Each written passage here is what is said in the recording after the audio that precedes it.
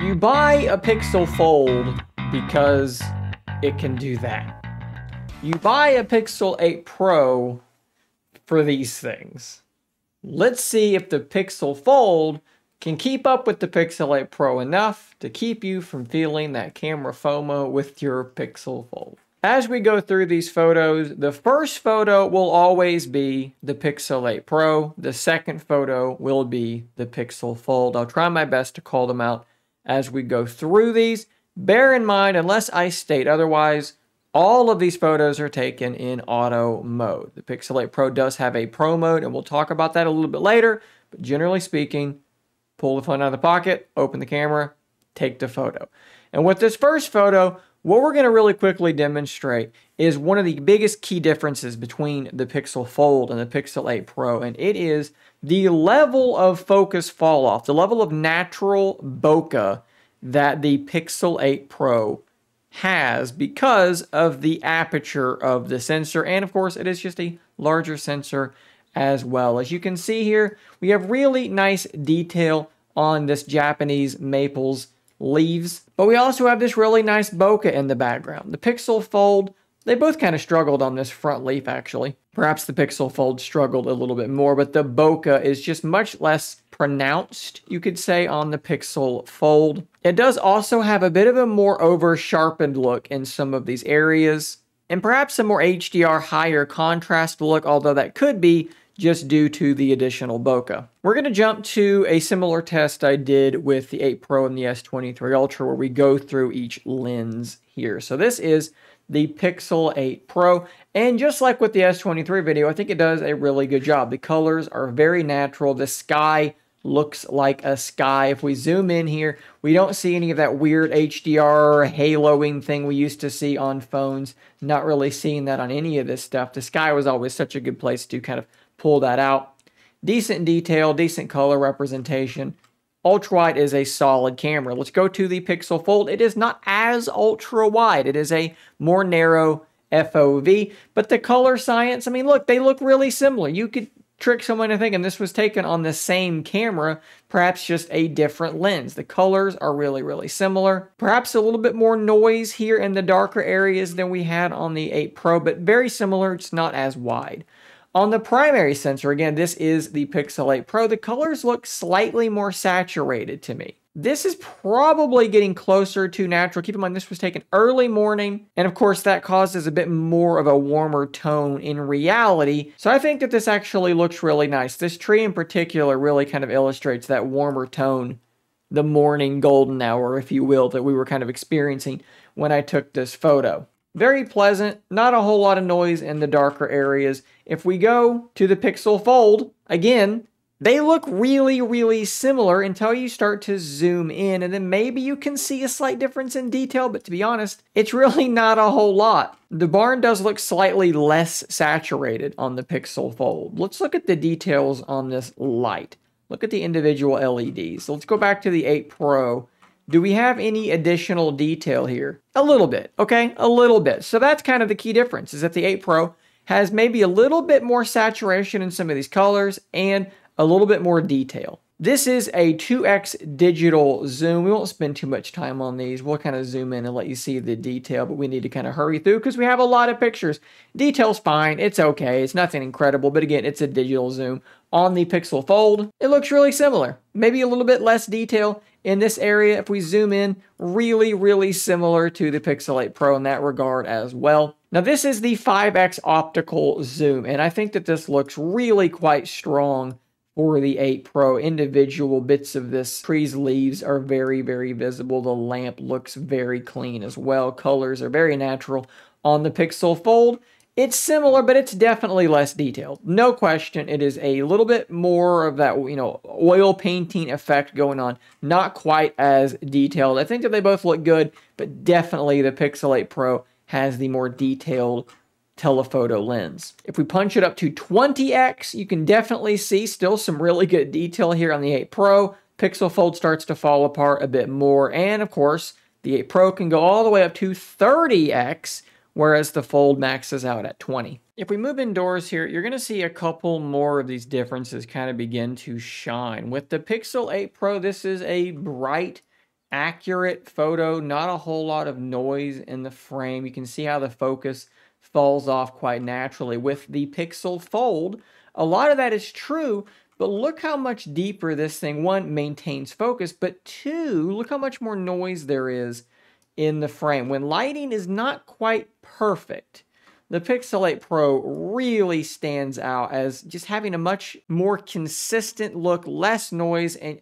for me, I've just got to love that shallow depth of field that you're just not getting anywhere near the same of with the Pixel Fold's smaller sensor. Another shot here kind of demonstrates the difference in the color science occasionally. We'll zoom in here and look at some of the detail in the writing inside this guitar. A little bit of noise here in the shadow. You can make out some of that potentially.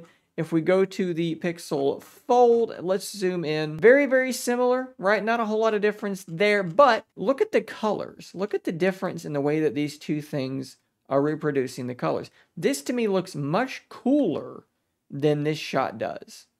The blue looks much more blue. And the Pixel 8 is more accurate in this regard. This is kind of punching up that coolness a bit too far. Both handle the HDR or the dynamic range of this lamp quite well. Slight differences, but nothing too crazy there. Just a much cooler look for the Pixel Fold.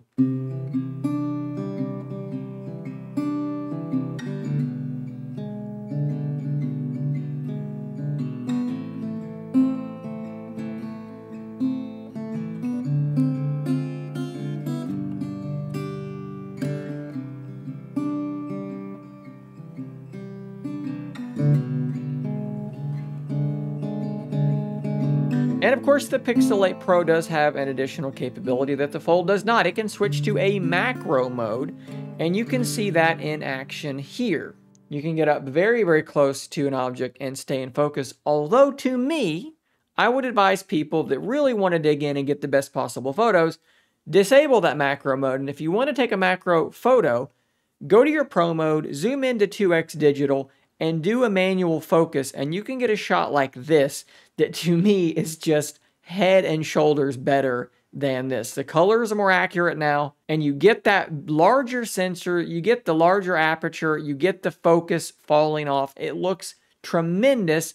The Pixel Fold, of course, you can try to pinch to zoom into 2x and tap to focus, and you can get something that approximates it. It's very, very similar. So to me, the lack of a macro mode, I at first I thought that was going to bother me, but now I've gotten used to just doing this, and to me, this looks better anyways. So now let's take a look at some selfie shots with the portrait mode. This is the selfie, the front-facing camera on the Pixel 8 Pro. As usual, hair is going to be difficult, but I think this thing takes a perfectly fine selfie portrait shot. Detail looks good. Pixel Fold, it looks very, very similar. Again, you could trick someone into thinking this was taken with the exact same phone.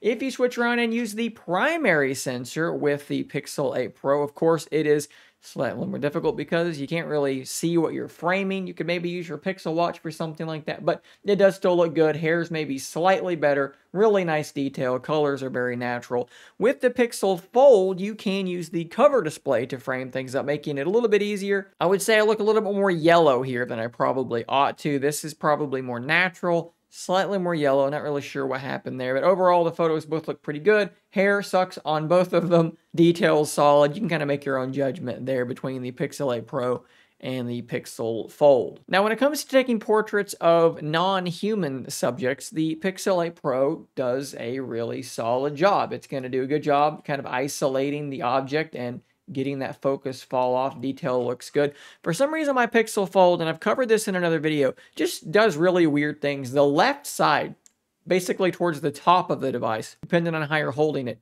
always ends up being blurry and the other side ends up being in focus. And I don't know what that is. I've not been able to confirm if other people are having the same issue.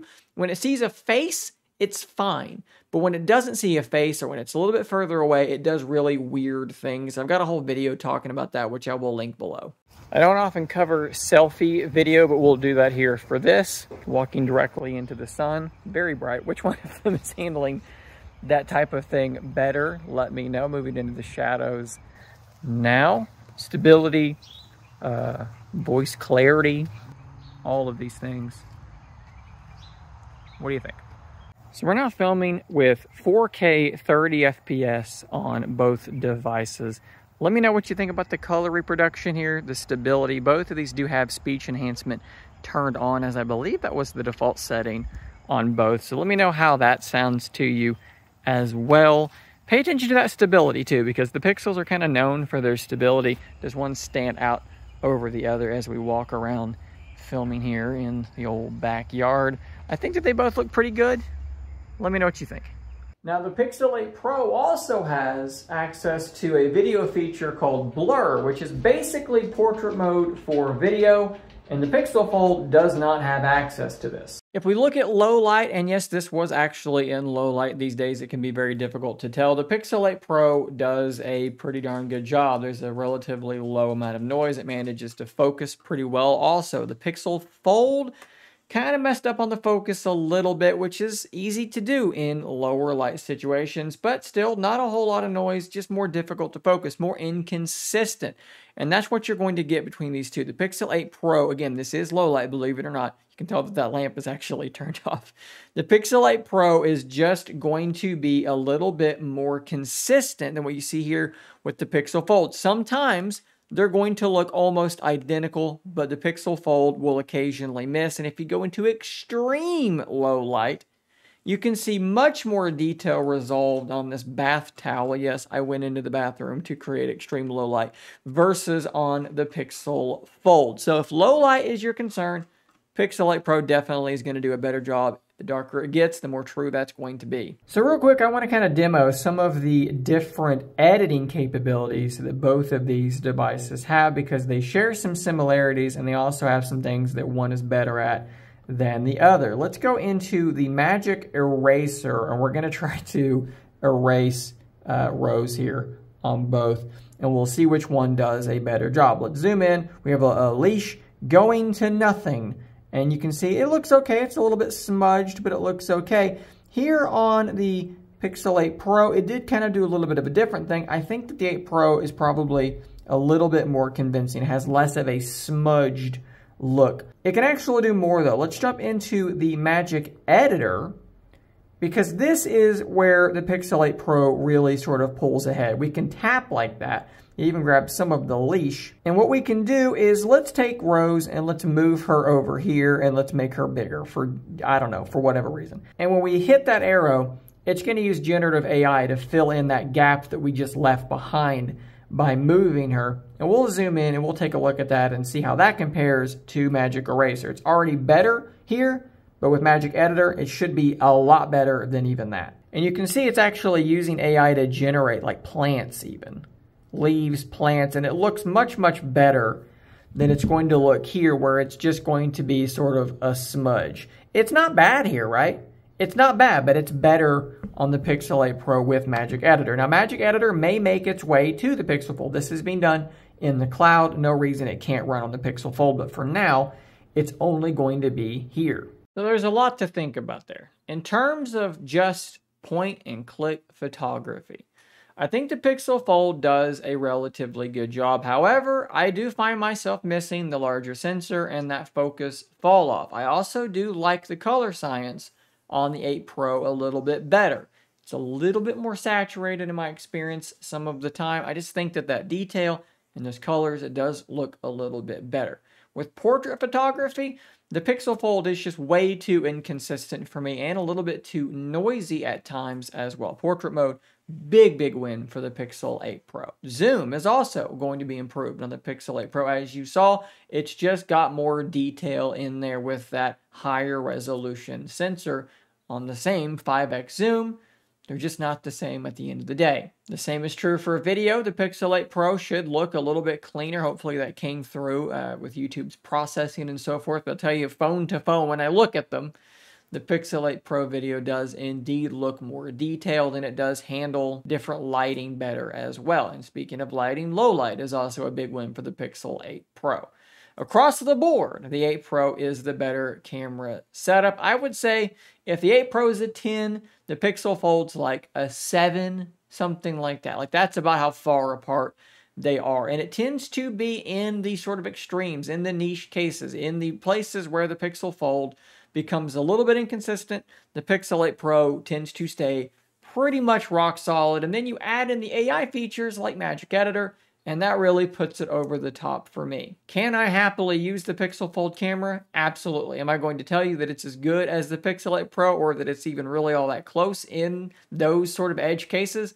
No, I'm not going to lie to you and tell you that either. The Pixel 8 Pro, if, if the camera is what you're after, if that's the biggest thing, go with the Pixel 8 Pro. However, the Pixel Fold, I do believe still, is good enough paired with the fact that it's a foldable for people like me to be more than happy. But again, Hopefully, this is good information for you to make your own decision on that. Let me know what you think in the comments down below, guys. I'll see you on the next one. And until next time, stay nerdy.